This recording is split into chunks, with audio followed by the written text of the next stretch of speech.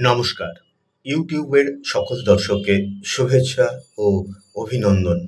বাঙালির গর্ব, বাঙালির অহংকার অনুষ্ঠানে সকলকে স্বাগত।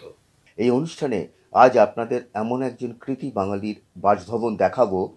আজ শেষ রাতে, অর্থাৎ আগামীকাল ভোরবেলা, যে বাঙালির সুমিষ্ট উদাত্ত কণ্ঠে আপামর বাঙালির হৃদয় মন অনুরণিত হয়ে উঠবে সেই কিংবদন্তি বাঙালি বীরেন্দ্র কৃষ্ণ ভদ্রের বাসভবন। যে বাসভবনে তিনি আমৃত্যু বাস করে গেছেন, শ্যামপুকুর থানার অন্তর্গত এই বাসভবনে এই স্মৃতিফলকটি শ্রী কমল কুমার বসু দ্বারা উনিশশো বিরানব্বই সালের চৌঠা আগস্ট সুতানুটি পরিষদের শ্যামপুকুর শাখার পক্ষে স্থাপন করা হয়। আগামীকাল ভোরে যে ত্রয়ীর অভাবনীয় সৃষ্টি মা দুর্গার আবাহনের সূচনা করবেন, সেই ত্রয়ী বাঙালির গর্ব, বাঙালির অহংকার। বাণীকুমার পঙ্কজ কুমার মল্লিক এবং বীরেন্দ্র কৃষ্ণ ভদ্র। ওনাদের অমর সৃষ্টি মহিষাসুর মর্দিনী।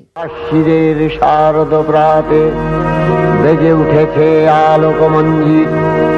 ধরণীর বহিরাকাশে অন্তরিত মেঘমালা।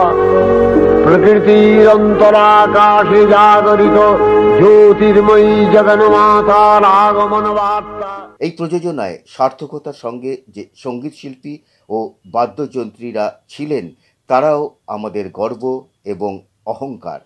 মায়ের আশিসে পুজোর দিনগুলি সকলের আনন্দে কাটুক। মায়ের কাছে এই প্রার্থনা করি। নমস্কার।